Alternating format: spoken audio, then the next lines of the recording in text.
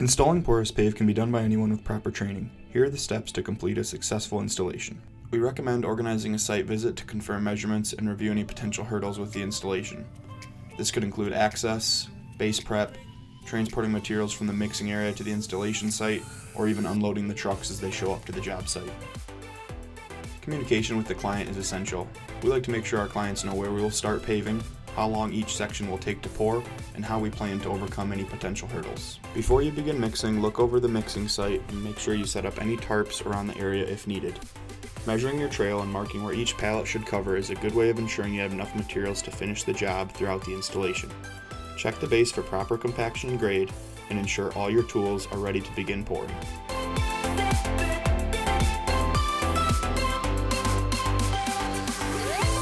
Once you're ready to begin mixing, give an even coat of oil to your wheelbarrow mixer. Then measure out the correct amount of binder for your mix. Insert the rubber and rock into the mixer and begin turning the paddles.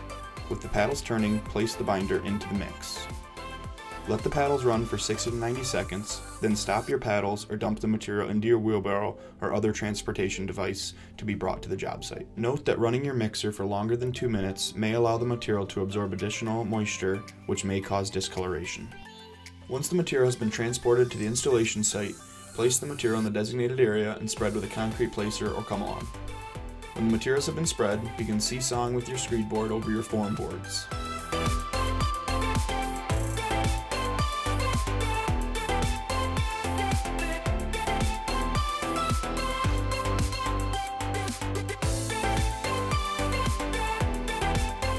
Area you are pouring is multiple pours wide, make sure to keep a wet edge by pouring multiple pours wide at a time. The easiest way to do this is to move your middle form board with you as you screed, then replace the material with a shovel and flatten before finishing. We recommend having multiple short form boards so that you can use the previous form board to roll your edge without having to remove the screed board from the path.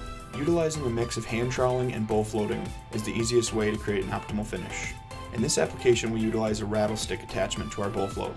This vibrates the float and creates a smoother finish. Using soap and water mixture will ensure all your tools slide across the pavement without causing rough areas.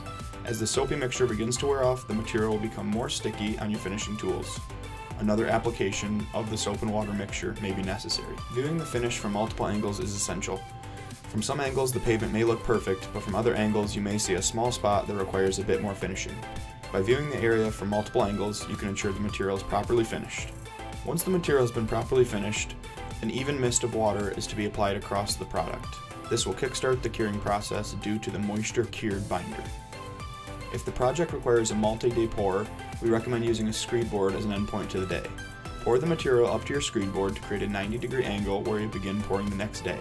When you finish for the day, it is essential to mark off your area using proper barricades or caution tape. Even with periodic oiling of the mixer, you'll notice a small buildup of materials each time you stop the mixer. Before the mixing crew leaves, it is highly recommended to perform an in-depth cleaning with brushes and metal scrapers.